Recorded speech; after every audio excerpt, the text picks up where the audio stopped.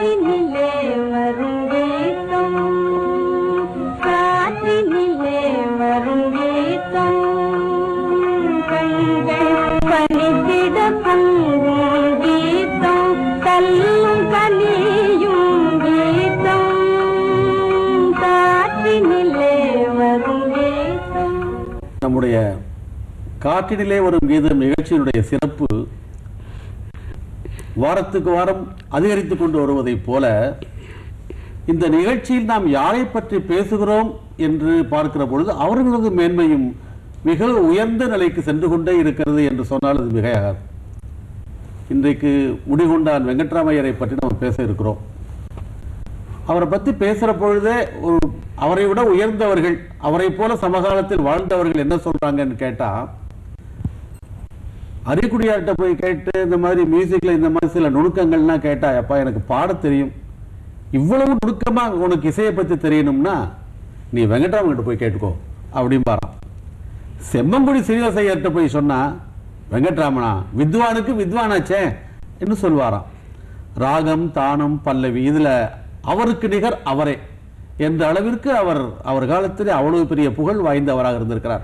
அவரை பத்தி நம்ம படிக்கிற பொழுது ஒரு- ஒரு சின்ன புல்லரிப்பு உடம்புல ஏற்படுது. இவ்வளவு பெரிய மேதைகள் இருந்திருக்கிறார்கள். என்ன? அதுல பெரும் குறை. ஆயிரத்தி தொள்ளாயிரத்தி எழுபத்தி ஐந்துல அவர் மறைகிறார். அந்த 75 ஆகஸ்ட் மாதம் நமக்கு தொலைக்காட்சி ஆரம்பிக்கிறது. அதனால அவருடைய ஒளிப்பதிவு நம்மிடம் இல்லை. ஆனால் ஒளிப்பதிவு நிறைய வழியில கிடைக்கிறது. அதை வைத்துக்கொண்டு அவரை பற்றி நாம் நிச்சயமாக பேச வேண்டும். அவருக்கு ஒரு சிறப்பு செய்ய வேண்டும் என்று நினைத்து நம்ம வேதவல்லி அம்மா இருக்காங்க.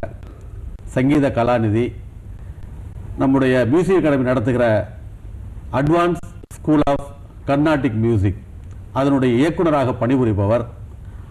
அவங்க வந்து முடிகண்டான் ஐயாவினுடைய பிரதம சிஷ்யை அவங்க.